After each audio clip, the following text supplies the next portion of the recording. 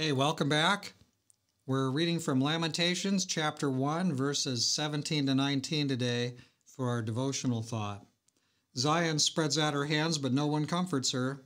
The Lord has commanded concerning Jacob that those around him become his adversaries. Jerusalem has become an unclean thing among them.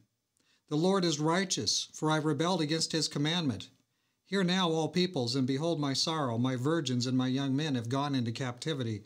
I called for my lovers, but they deceived me. My priests and my elders breathed their last in the city, while they sought food to restore their life. So, what do we see here in our reading? Well, God is in ultimate control, right?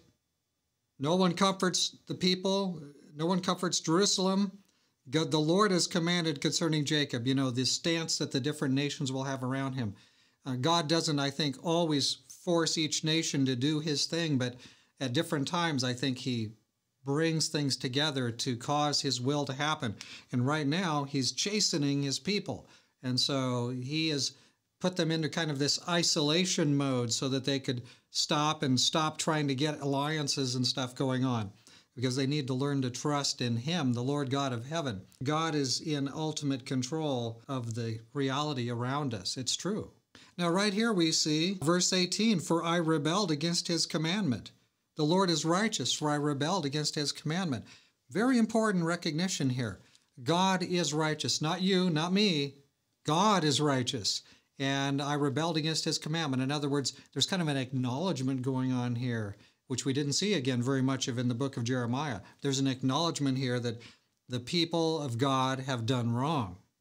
My transgressions, right? We've been rebellious. So these things are happening to us. That's important. It's very important. We've noticed it already in this chapter. Kind of an owning, a willingness to own our transgressions, to own not only that they're transgressions, not only that God is coming against us, but He's coming against us because we were wrong. See? So that that ability to admit we're wrong and to say I want to change, I want to be transformed. This this isn't what I want for me. That's important. And God is working for his people here.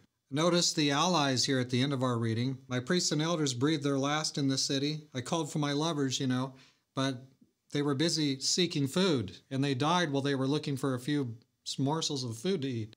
Isn't it a piece of irony here that the people that we might be looking for help from, what are they doing? They're scavenging just to find a, a dandelion they can eat. Uh, it, it, they're very needy. The people we look to for help, for human help, is always disastrous. We need to look to heaven above for the help that our God has for us. So, what lessons can we draw from our reading here today? Well, one such lesson might be that our co conspirators or our, uh, our prospective allies they're untrustworthy, they're undependable. They are not as powerful as we might in our imagination think they are. And so we, we've got to be careful. We don't want to look to the wrong people, the wrong sources for strength. God is the source for strength. So, again, in our reading here today, very important admission the Lord is righteous. We've done wrong. We've been rebels, and we need, we need to turn. And we pray that God will still have mercy on us and still accept us. Wonderful thoughts, hopefully, that Jeremiah is giving for that, that express some of the thoughts of the people of Judah, the remnant that remains there. Let's pause and pray. Dear Father in heaven, you continue to be in ultimate control. Uh, we want to trust in every which thing but you, it seems. So help us to, to throw away that kind of nonsense behavior and learn to trust in you. Please, Lord, help us to have a heart turned toward you. We pray that you'll give us the gift of repentance, and we ask for it in Jesus' name. Amen. So, God go with you in all of your needs today. And if there's something, if there's a place, a place where you need some repentance, pray that God will give it to you so you can turn more fully to Jesus. God be with you today.